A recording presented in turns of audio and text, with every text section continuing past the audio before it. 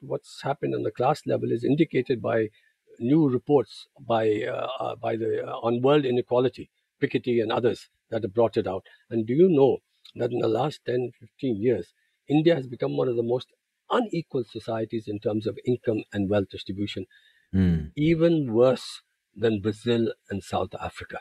That means that the so-called talk of uh, high growth rates in India and it's going forward has actually meant that the gains have been very disproportionate. And it also means that at the economic level, there are all kinds of very, very serious problems. And that reflected itself in the results that took place.